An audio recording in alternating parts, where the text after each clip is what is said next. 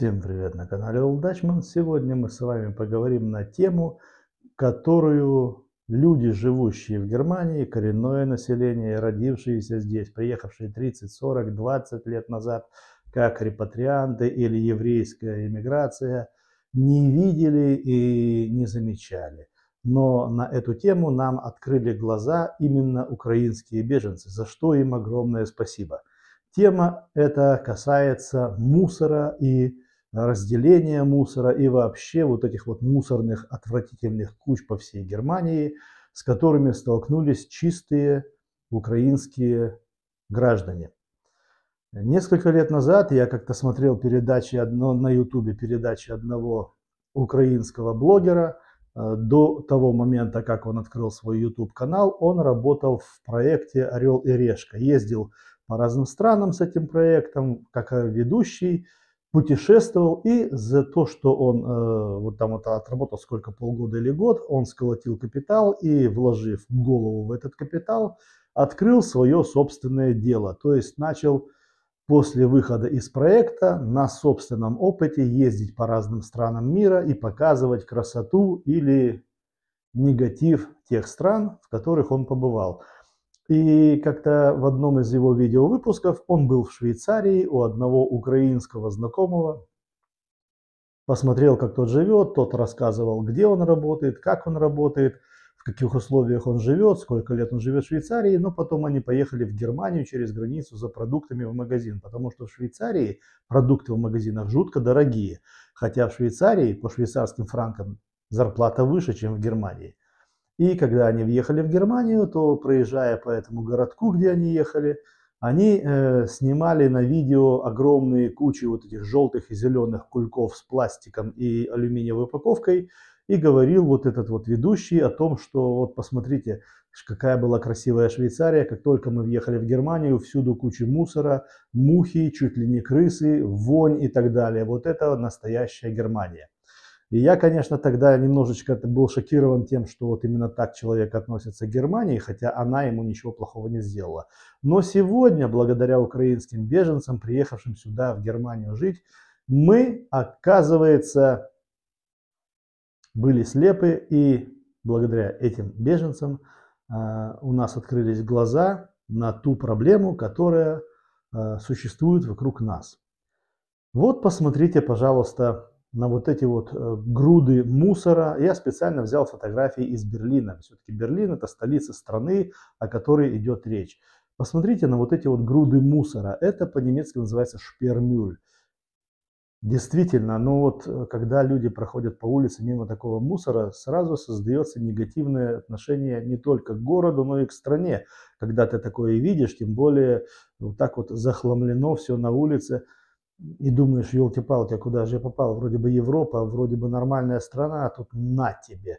И вот украинские многие блогеры, приехавшие сюда, в своих видеовыпусках рассказывают о том, какая Германия грязная, противная, вонючая. Э, в этих мусорных кучах чуть ли не крысы бегают. Э, мы, конечно же, примем это к сведению, да, и мы постараемся эм, сделать страну более приемлемой для вас, более удобной для вашего именно менталитета, граждане украинские беженцы.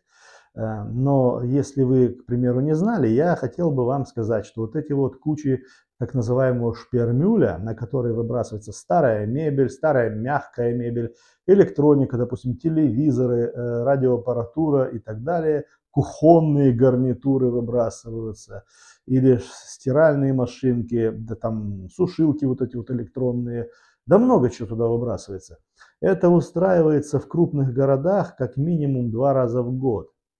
По всем э, домам, в районе которых э, будет вот этот, создан этот шпермюль, вывешивается объявление такого-то, такого-то числа, вы можете выносить свое старье в определенное место, складывать, и через неделю приедет машина и все это заберет. Естественно, люди собирают все свое старое барахло, выносят именно на это место, складывают, кто бросает, кто как, и оставляют это там. В течение недели все это куча собирается, потом приезжают машины, забирают все это в контейнеры, дворники тут же зачищают место и не остается ни единого следа от этого шпермюля. Наверное, украинские блогеры, которые живут здесь, в Германии, вот уже пару лет, наверное, этого не знали и не сталкивались с этим, поэтому они говорят, что везде, по всем городам, э, по многим улицам вот такие вот кучи такого вот мусора. Но э, что лукавить душой? Они сами бегают по этим кучам, собирают себе мягкую мебель, собирают себе электронику. Я вот у нас в городе даже видел, как стояли два украинца, э, была такая вот куча шпермюля, и там ну, не кожаная мягкая мебель была, вот этот вот типа вот диванный уголок, ну, под кожу, вот этот дермантин, как он называется. И вот стояли два украинца, охраняли среди всей этой кучи этого мусора вот эту вот, э, вот этот большой э, трех, трех, трехместный диван, плюс два кресла, охраняли, ждали, пока подъедет их знакомый с маленьким вот этим бусиком, чтобы загрузить это и уехать. Кстати, можно забирать это бесплатно. Я сам, что греха таить, я сам, когда мы только приехали в Германию, ходил по таким мусоркам. Да, я ходил по таким мусоркам, и вы знаете, я приволок, мы еще в общежитии жили в городе Вайден, я приволок в общежитие микроволновку рабочая, правда, была без тарелки. Ну, заменить там тарелку, это ерунда, это поставил любую другую фарфоровую, вот тебе подставка под, под еду. Микроволновку притащил, два телевизора притащил. Один телевизор был Грюндик, другой Philips. И у обоих была диагональ 62 сантиметра цветные телевизоры. Единственное, что у них не хватало, это не хватало вот э, пульта э, дистанционного управления. Пошел в магазин Норма, купил за 5 марок пульт, включил его на настройку, э, на поиск телевизора, он тут же настроился и все. И мы в общежитии в течение почти года смотрели эти телевизоры. Они работали идеально. Да, я таскал э, тоже с, такой, с таких мусорок, с таких шпермюлей э, вот эту вот электронику. Один раз я приволок классное, удобное, мягкое, с лакированными подлокотниками кресло. Многие таскали. Я это говорю открыто, э, я это тоже делал. Но вот эти вот украинские беженцы, которые приехали сюда, вот посмотрите еще.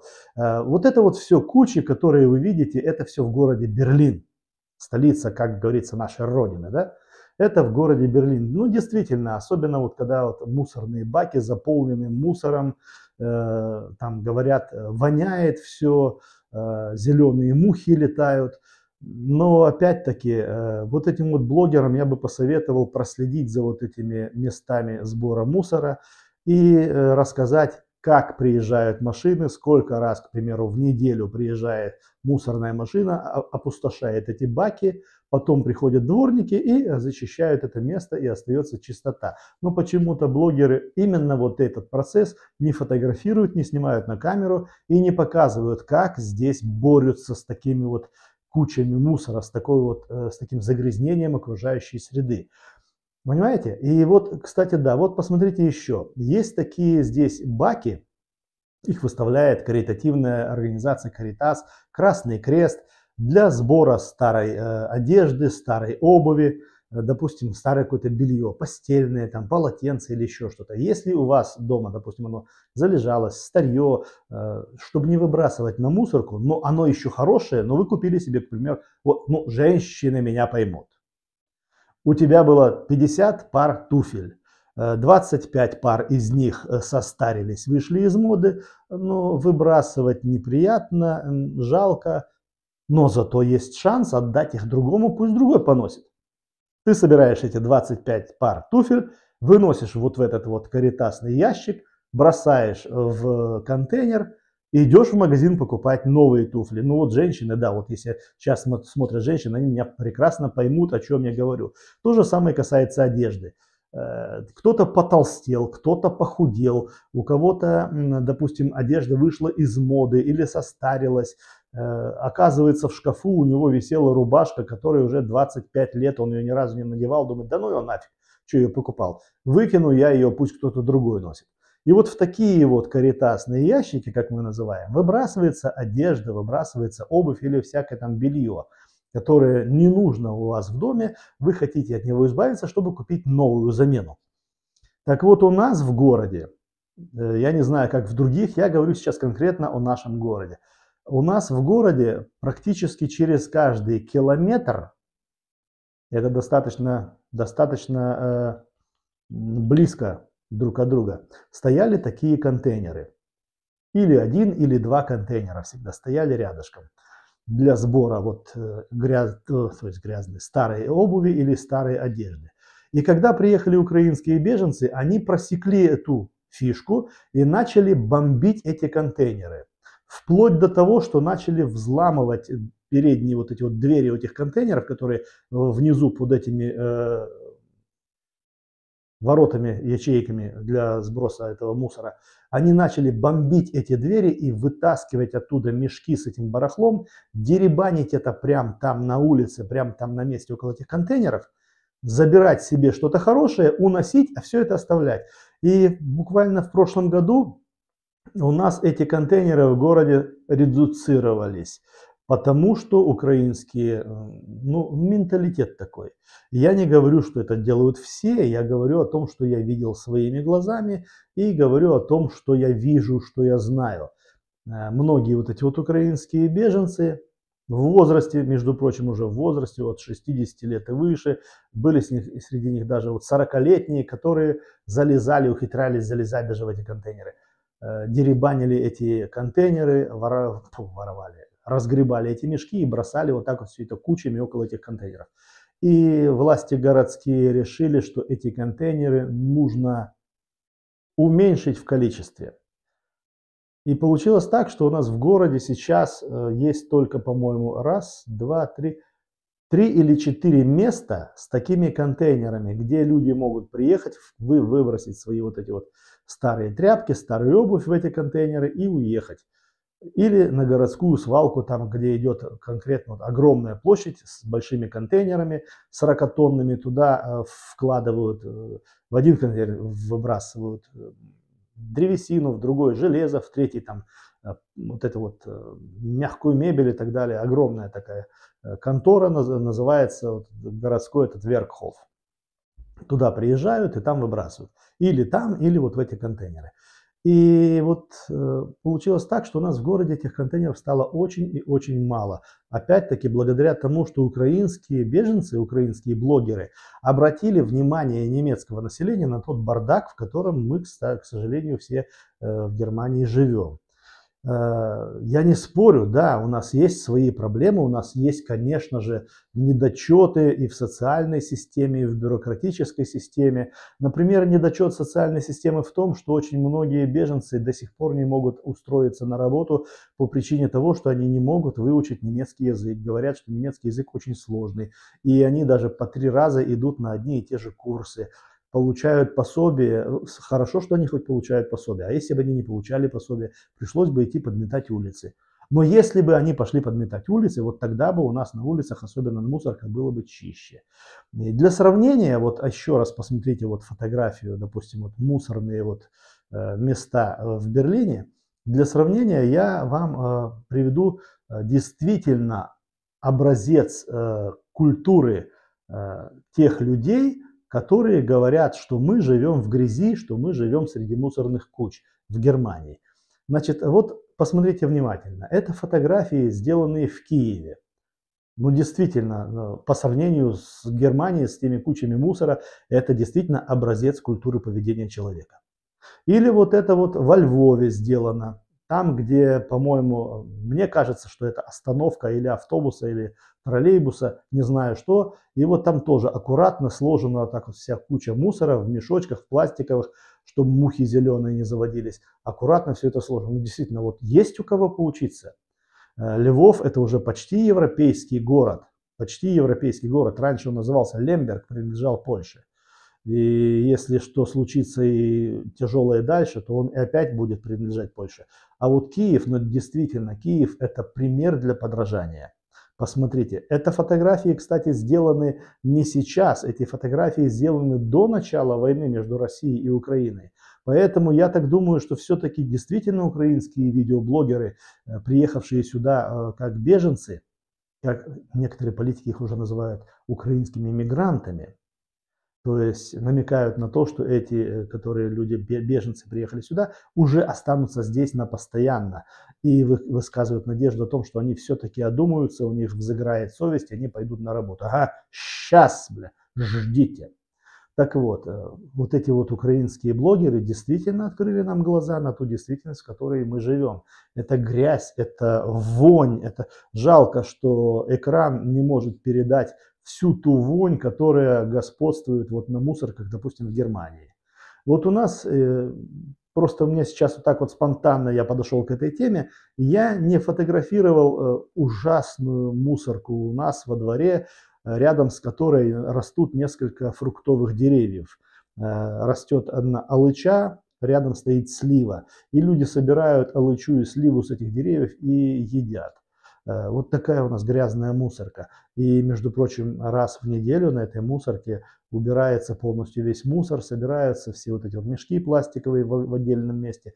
И раз в две недели приезжает машина и забирает эти пластиковые мешки. Э, теперь к самому началу вот этого э, видеовыпуска, когда я сказал про того украинского видеоблогера, ранее принимавшего участие в проекте «Орел и решка», когда он приехал э, со своими знакомыми из Швейцарии в Германию за продуктами, скорее всего, за водкой, за колбасой. Ну а что еще они могут купить?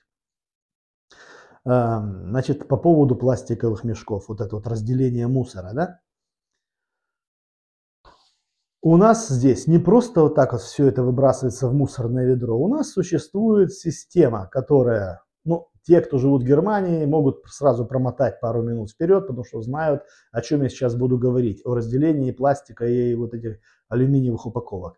А для тех украинских блогеров, которые жаждут э, действительно покаяния со стороны немецкого э, человека, со стороны э, людей, живущих в Германии, это будет э, полезно послушать. Так вот, в каждом городе все улицы поделены на районы между вот этим вот э, организацией под названием Веркштофхоф. Раз в две недели на нескольких улицах одного района проезжает одна или две таких машины оранжевых и собирают все эти мешки с пластиком или алюминиевой вот этой упаковкой. Они все это собирают, все это увозится на комбинат по переработке мусора эти мешки у нас не лежат вот так вот постоянно, как э, вот этот вот блогер показал, что как заехал в Германию, сразу попал в грязь, в мусор и в, в мразоту. Нет, эти мешки у нас аккуратно собираются э, в кучке э, в течение двух недель на определенных местах. Машина приезжает, все это собирается, и эти же граждане, которые собирают этот мусор, если вдруг там где-то что-то рассыпалось, они тут же подметают это и забрасывают в машину. И этих людей мусорщиками назвать нельзя. Я бы сказал, скорее всего, что это очистители города. Вот это действительно люди, которые следят за чистотой и экологией в городе. Они не мусорщики. Мусорщики это мы с вами, которые ссорят постоянно шелухой от семечек, пустыми бутылками или еще какой-то дрянью, кидая все, все эти упаковки мимо мусорок на улице, когда мы идем мимо. Вот посмотрите, вот эти вот контейнеры у нас специально стоят во многих районах, очень э, часто вот так вот на, на многих улицах, э, для разделения стеклотары. Те бутылки, которые магазины не принимают. Это бутылки с под вина, бутылки там, не знаю, с под виски, с под э, водки, с под шампанского, там всякая другая ерунда, которая считается вообще одноразовой.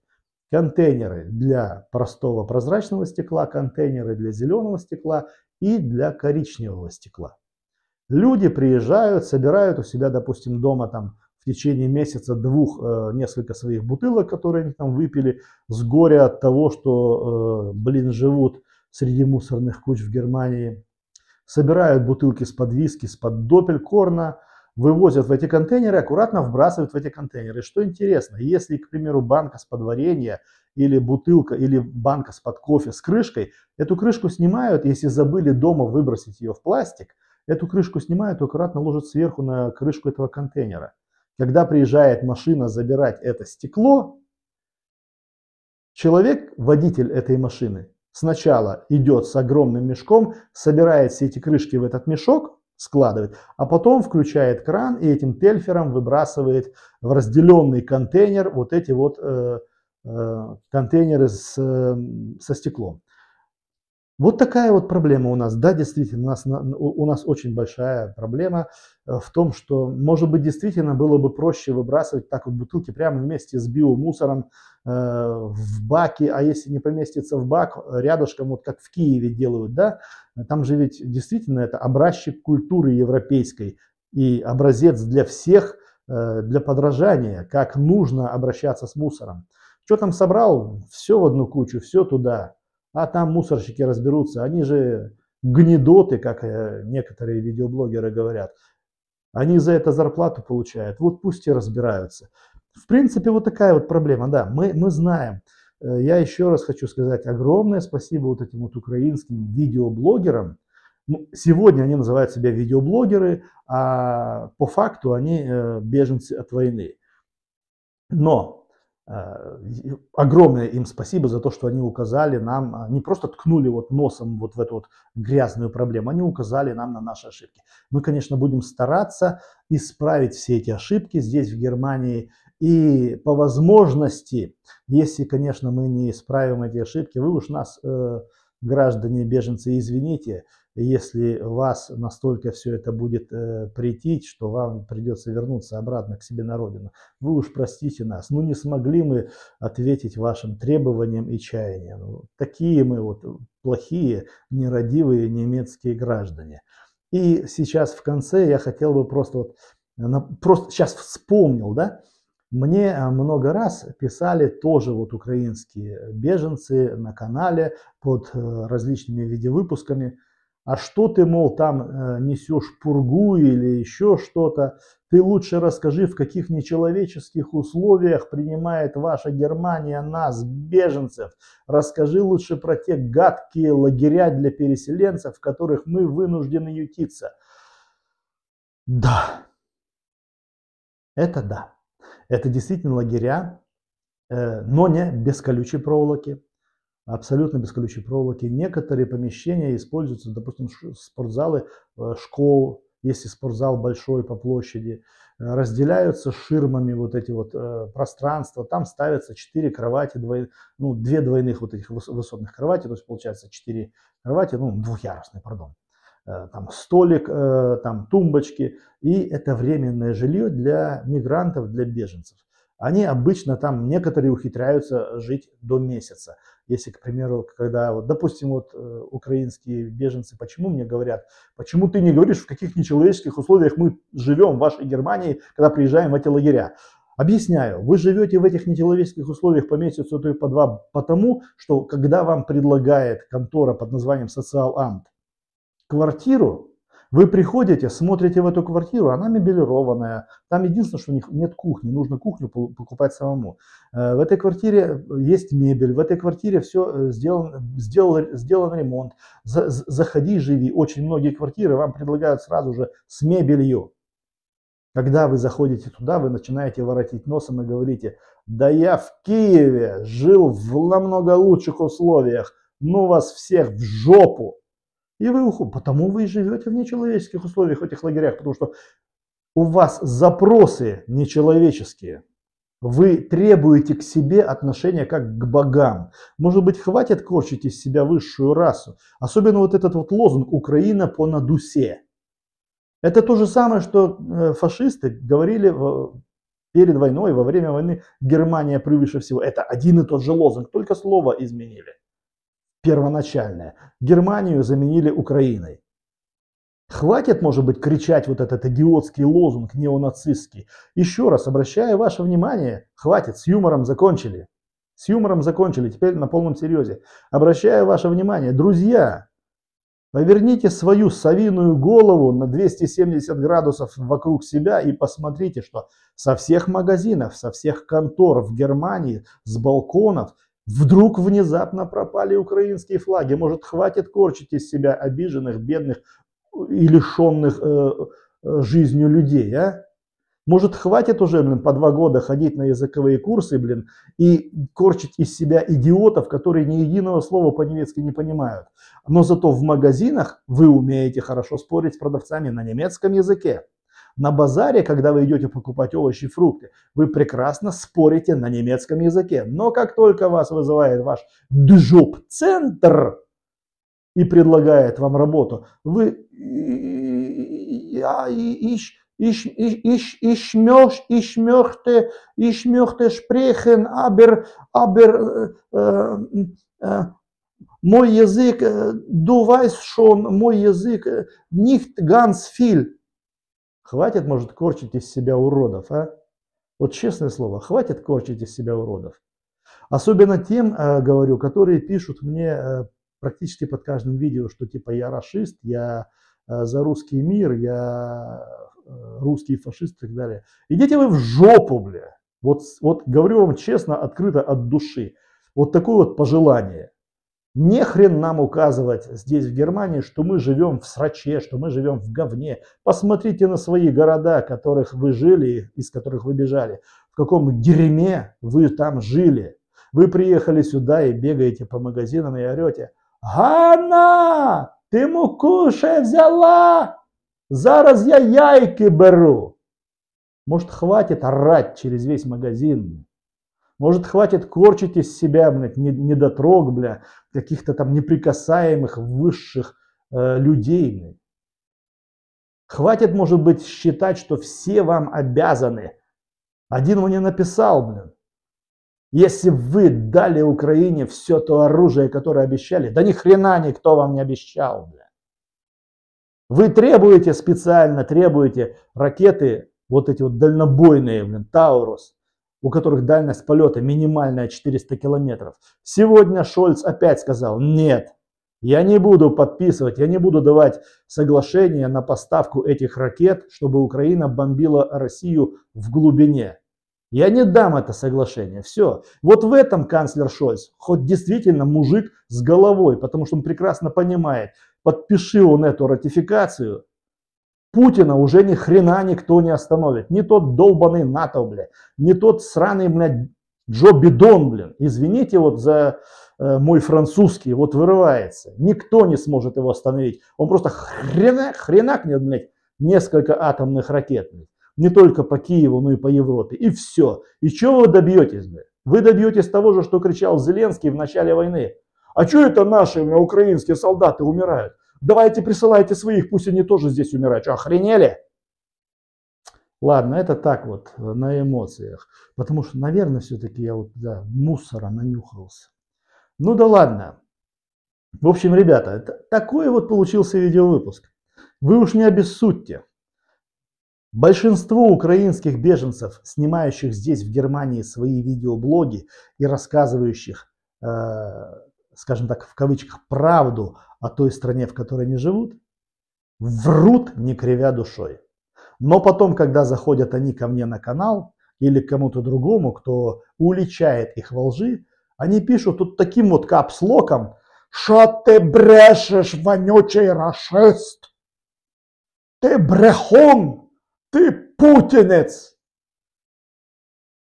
Потому что правда глаза колет. Вот потому они так и орут. Вот так вот они гавкают. Вот такие вот у меня были на сегодня новости. Подумайте о том, что я вам сегодня сказал. Э, примите это как э, не как должное, а как информацию к размышлению. И еще раз. Вспомните поговорку. В чужой монастырь со своим уставом не ходят.